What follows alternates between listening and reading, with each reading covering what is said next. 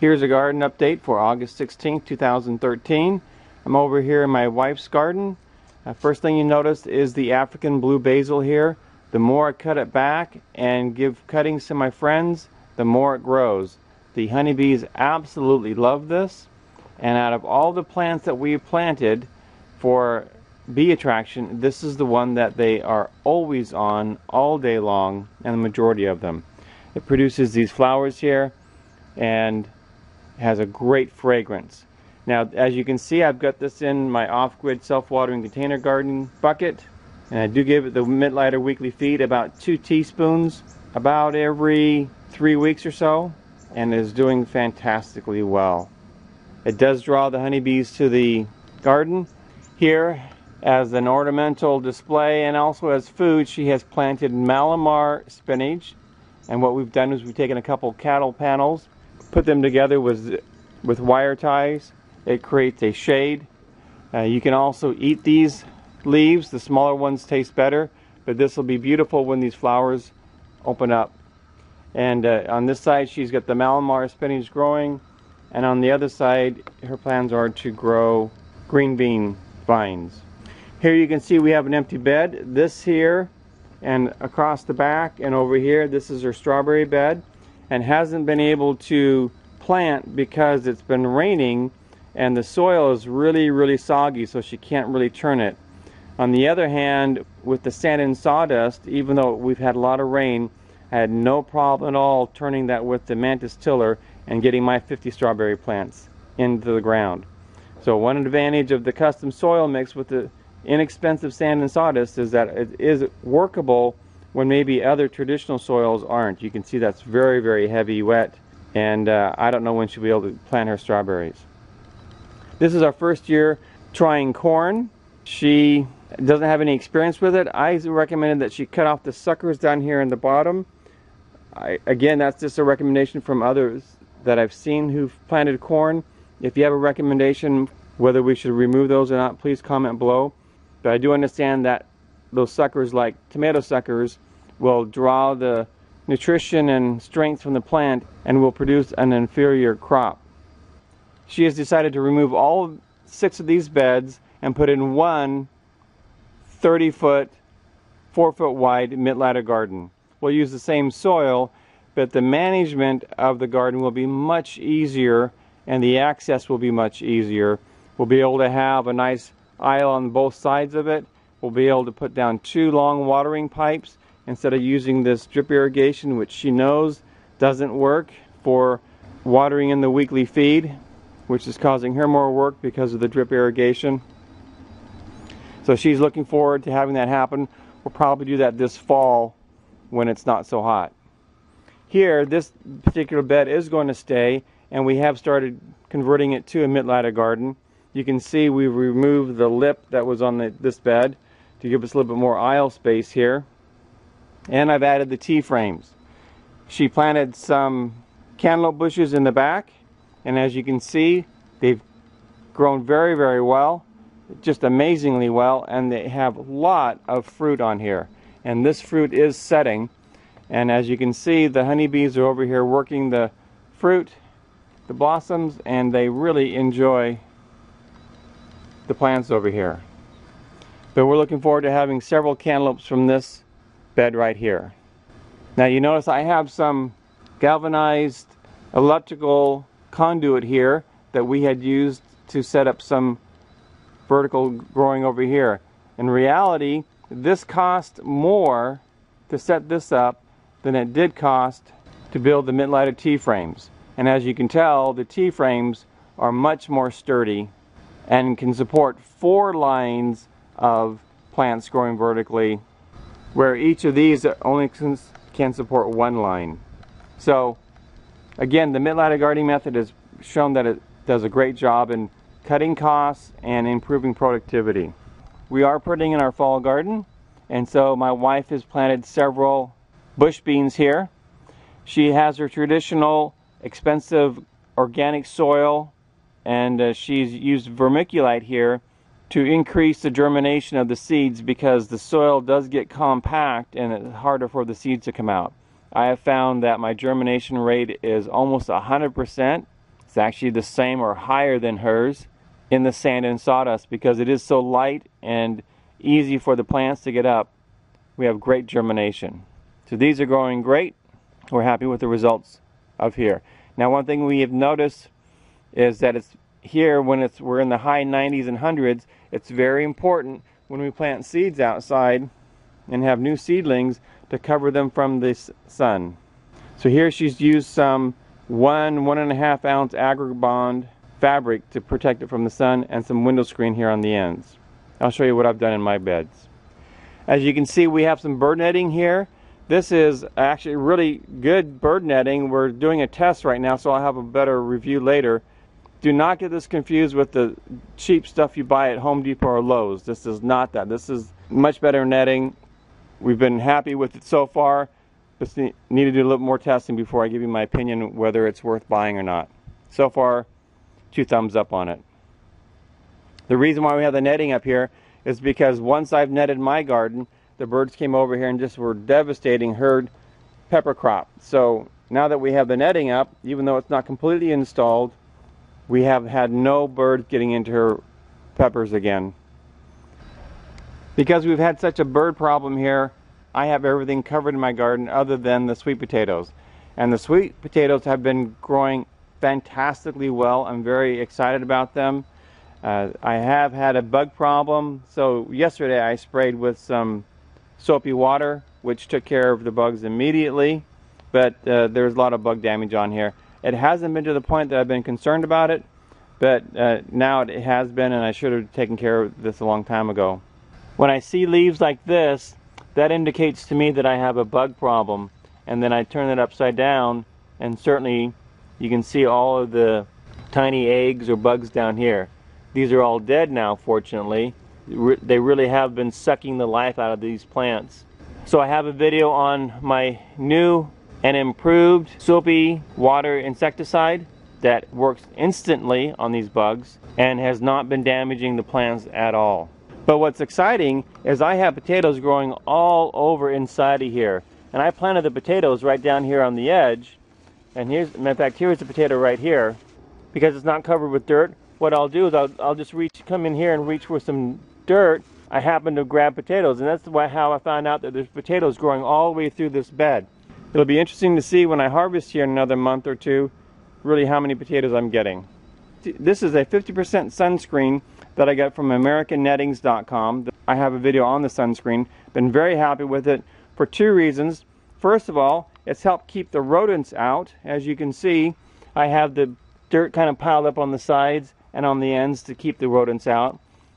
It keeps the sun off the plants, and these are new seeds I put in here. We happen to have carrots and lettuce in here, and I can hand water through it if I need to. So that's worked out very well. I've been very happy with the sunscreen and the netting I've gotten from AmericanNettings.com. They do have an affiliate program. I'm not an affiliate for them, but I've been very, very happy with the personnel and the products there. We have had 100% success with the bird netting we put up here. This, this is the knitted bird netting. It's very soft. It doesn't, it's not as grabby as other nettings, and it's easy to work with. These are my tomatoes I planted in spring and as you can see they're still doing very well. I feed them with the weekly feed and watch them for deficiencies. But now that I've changed from the 13 13 13 to the 16 16 16 uh, I notice I can feed every seven days instead of every five days. As you can see the plants are all kind of wrapped around down there. It's because they're so tall uh, in order to keep them manageable I've had to lower them down and over here it's just gone crazy. So I've decided next year that in June when the tomatoes are done with the initial harvest I'll take them out and I'll plant new tomato plants inside and then bring them outside for a fall harvest. All of these tomatoes here are cuttings from the other tomatoes on the other side. So these are actually tomato clones. And they've all done pretty well. I've lost a couple because I removed the sunscreen. This particular bed doesn't have sunscreen over it. So I need to get that on here for next year. They all are healthy, they're growing well. They don't get as much light in my garden as my wife's does, but I'm very happy with their growth. We had a very high success rate with the cuttings. Actually, we had 100% success rate until I removed the sunscreen and then they got burned up. This is a 70% sunscreen that we have over here on this bed. And as you can see, it was six feet wide. We needed it to be longer, so my wife sewed it here on her serger. And we made it longer. It wasn't quite long enough. So what I did is I took some of these clips and clipped them on here. Now these clips are really from this retention system here. I'll have a link, but it's three quarter inch 200 psi PVC and the and this is half inch schedule 40 PVC which is what I've made the A-frames out of and so I just cut pieces of this and use that to clamp on.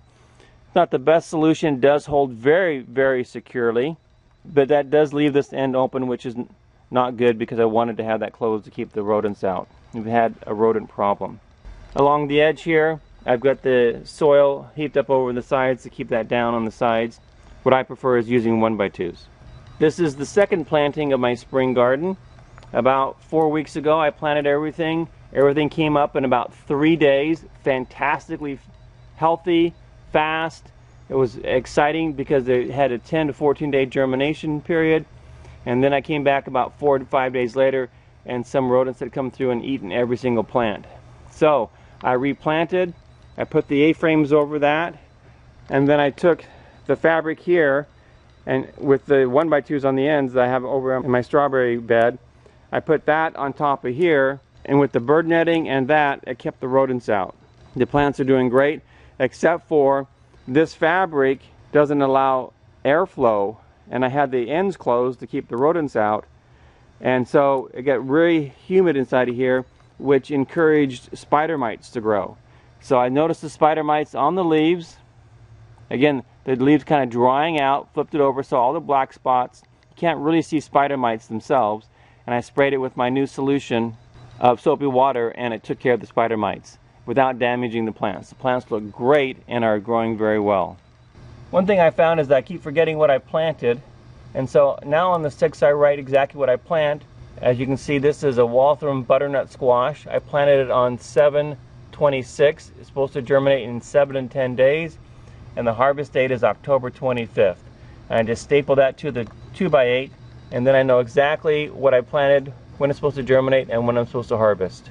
So here I have butternut squash, acorn squash, yellow summer crookneck squash, straight eight cucumbers, Hale's Best cantaloupe, and a row of Kentucky Wonder green beans. All of these will be growing vertically, and so I'll be able to get a good yield out of this square footage here. The bell peppers are doing great. I did originally use the boxing twine or packaging twine from Home Depot to tie them up. Even though this is poly twine, it does deteriorate and the branches have been breaking off under the weight of the fruit and the twine breaking. So I've lost several branches here, but the plants are healthy and very productive.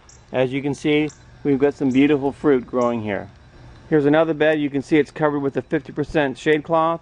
And inside of here I have cabbage. I have a couple different kinds of zucchini. You can see the zucchini plants growing in here. Again, we're shading them from this high 90, low 100 degree weather until they get a little bit stronger. I've got some cantaloupe in here. Again, we love cantaloupe. And I've got a pumpkin in here. The honeybees are doing great. So far we've harvested 238 pounds of honey from these hives this year.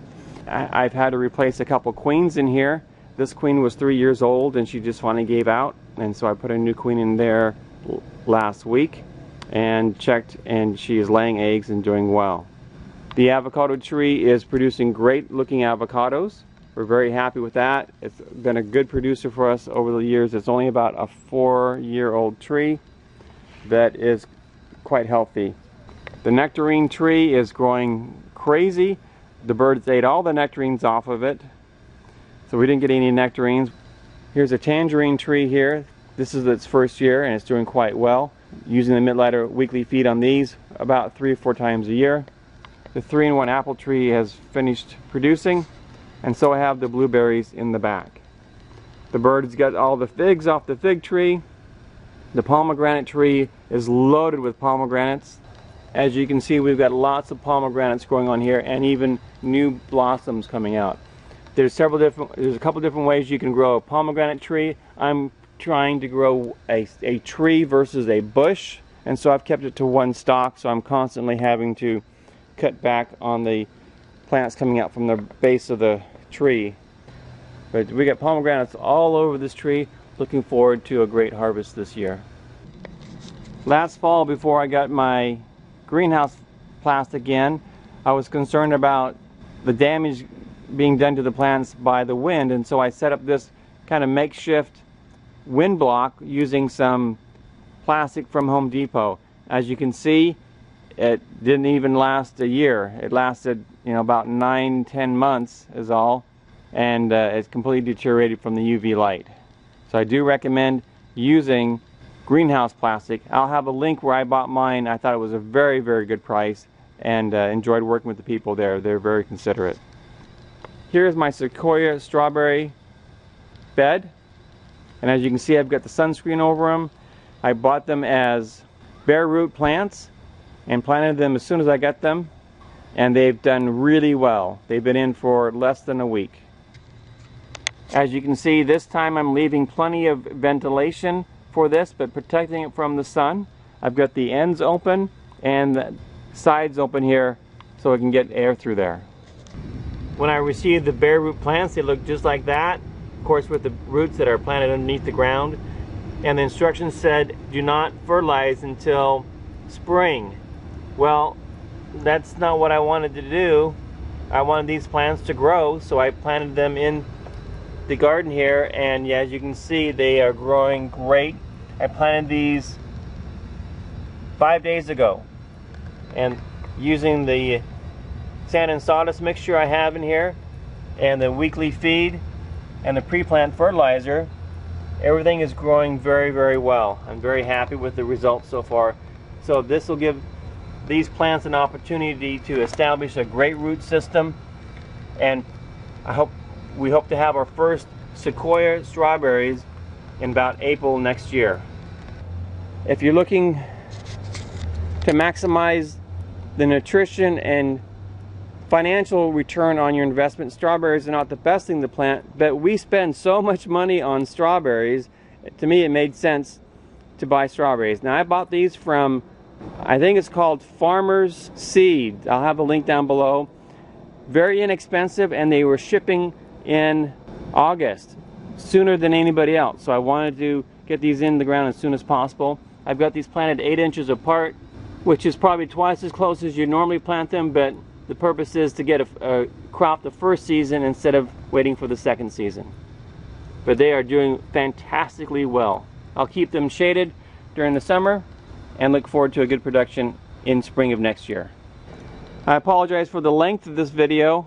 Oh, one other thing I forgot to mention is I've been testing this sunscreen up here. This is again 50% sunscreen on top. I'll have a video on this and this has done really well. It has really helped out these new seedlings down here in the bottom of the bed to uh, make it through these hot summer days here. If you aren't doing something to manage the temperatures in on your plants in your gardens and you get hot weather like we do here in Houston, you're not going to get great results like others are who are managing the temperature of their plants. So sunscreen during a hot summer is vital in, in maintaining the temperature of the garden. As you can see, I have wireless thermometers in my garden so I can monitor the temperatures and know how to act appropriately. I apologize for the length of the video. A lot going on, a lot of changes in the garden, but I'm very happy with the results. It keeps producing and we keep harvesting. Last night again we had potato salad and watermelon all from the garden. The onions, potatoes, the watermelon, it was wonderful. This is LDS Prepper reminding you, if ye are prepared, ye shall not fear. And check the links below for additional information on how to build the A-frames, where to get the fabric, the netting, and the strawberries. Today is the weekly feed scheduled day, so I thought I'd show you what the garden looks like without the screens on them. This is my lettuce. Came up in just three days. Over here we have carrots. This will take 21 days for these carrots to germinate. It took about 8 days for them to germinate. So they came up very well in the sand and sawdust. Here are the bush green beans that my wife planted in my garden over here. And they're doing well, although I can see that we've got insect problems, so I will spray that with the soapy water. In fact, you can see a bug right there on the plant. Soapy water will kill that bug here in just seconds. But you can see they really do devastate a garden here very quickly. But the plants all grew well, but I need to take care of them because of the bugs. This is my 13 foot bed and this is where I have the cabbage. You can see the cabbages here. I must have dropped a seed and it, and it germinated. But there's the cabbages. Here is the zucchini. And I'll be growing all this out here horizontally on the ground. I've got the space all out here to do that. Here I've got the pumpkin and I've got my cantaloupe plants here.